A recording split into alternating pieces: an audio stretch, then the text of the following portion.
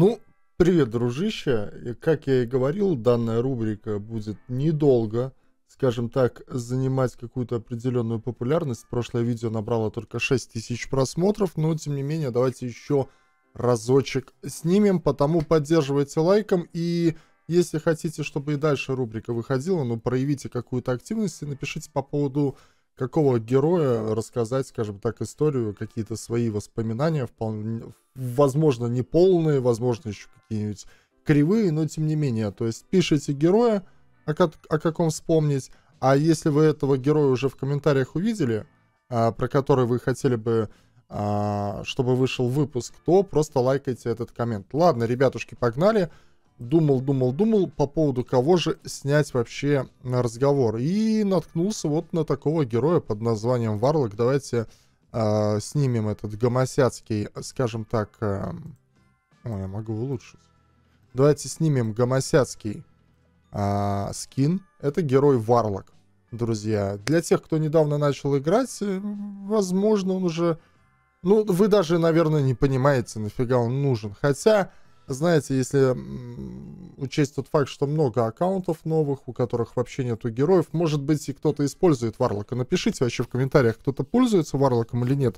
Просто поймите, я тоже зажрался, и на самом деле я порой не бываю, не понимаю, используется, не используется, нужен, не нужен. Но как я понимаю, в современных нынешних реалиях игры данный герой уже никаким образом не используется. Хотя когда-то это, это была мечта. Когда-то это была мечта, когда-то это была огромнейшая проблема, если данный герой отсутствовал у вас на аккаунте. Но давай начнем по традиции с того, а, что мы посмотрим, что же разработчики написали об этом герое. Где он тут вообще? Варлок, Варлок. Подожди, энциклопедия героев. А, вот, вот, он, он же в самом начале. Смотрите, Варлок. Биография. Как почетный магистр королевской семьи Варлок преуспел в магии огня, он посвятил жизнь исследованиям и разработал свое собственное заклинание, сочетающее в себе как атаку, так и защиту. А, я думаю, что, ну, хотя давайте перечитаем умение, потому что я уже вообще и забыл, я вот помню смутно, что он наносит урон. Наносит урон равный 150% от атаки трем героям противника, снижая их скорость движение на 80% на 6 секунд. Позволяет трем союзным героям отражать 40% получаемого урона и дает иммунитет к одному отрицательному эффекту на 5 секунд. Кулдаун 7 секунд. Давайте все опустим и просто а, поставим точечку подчеркивания на том моменте, что он наносит урон. Да, вот это вот подчеркнули, ребятки, и он наносит урон, по сути, только героем. И в те времена, когда в битве замков не было такого огромнейшего количества демагеров, Варлок был очень-очень крут.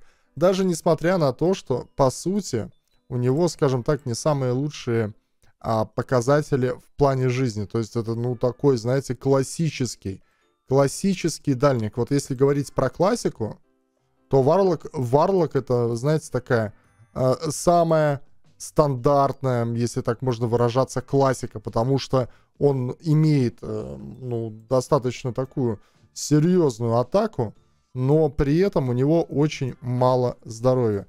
Вот мне бы сейчас вообще его найти. Вот реально, посмотрите, сколько героев добавили в нашу игру.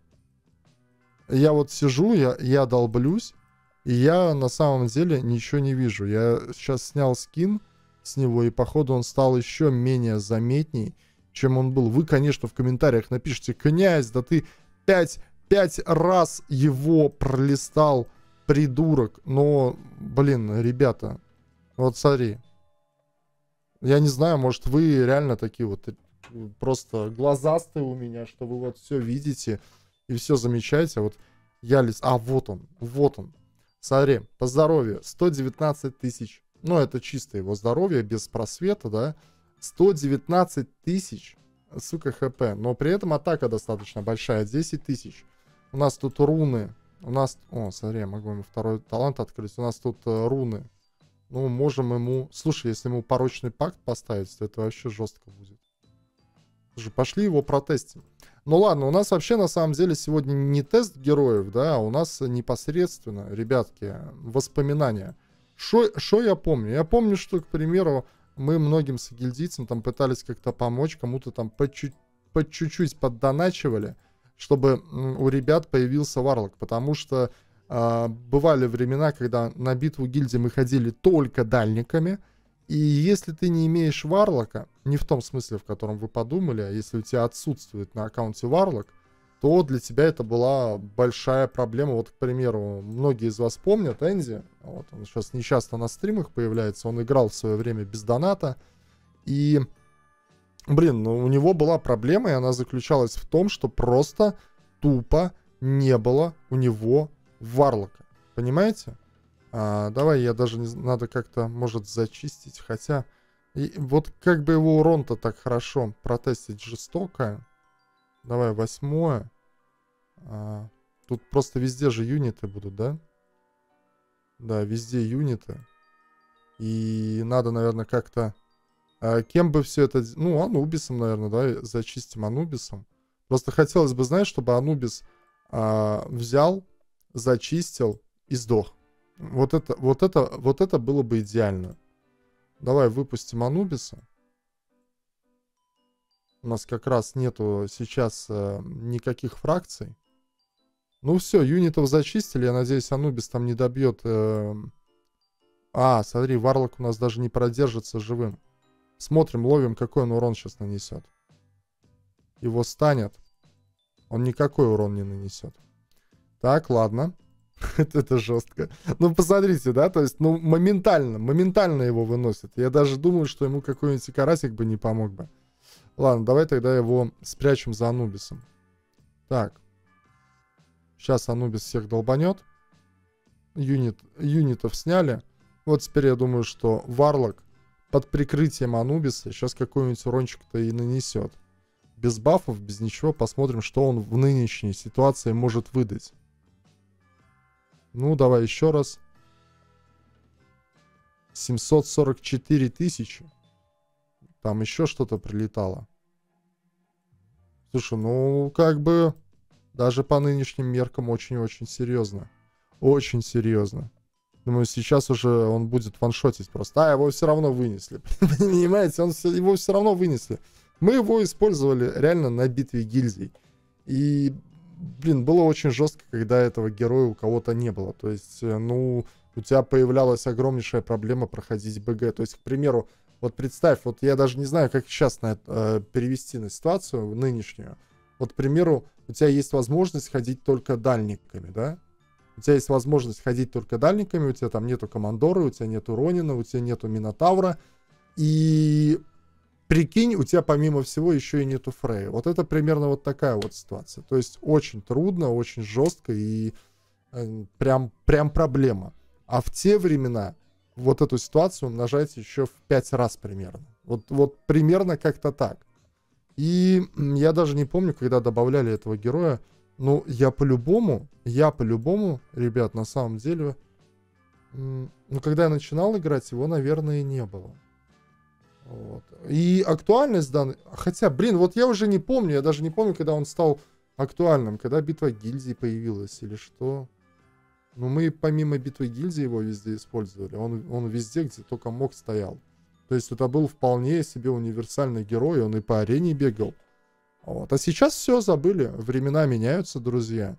И мы его забыли, и причем, понимаете, у меня стойкое ощущение того, что разработчики просто не успевают за теми нововведениями, которые они сами вводят. То есть сейчас огромнейшее количество неактуальных героев, которых можно было бы продавать за за кристаллы героев. То есть, понятное дело, что, ну, хорошо, Химера, там, Душегуб, ну, понятное дело, что, к примеру, здесь могли бы оказаться такие герои, как Череп, как Варлок, ну, много-много, то есть, вот все, про героя забыли, этот герой за самоцветы нафиг не нужен, ну, поставьте его здесь продаваться, ну, почему бы нет, кому от этого стало бы хуже? Уж вряд ли будут меньше ролить из-за того, что вы дадите возможность купить Варлока. Но разработчики как-то на эти моменты не смотрят. У меня такое предположение, что они сами особо в данную игру не играют. Ну, а рассказать что-то про Варлока много не могу, потому что, блин, вот как-то, знаете, забывается все со временем, а игра наша существует уже долгие годы.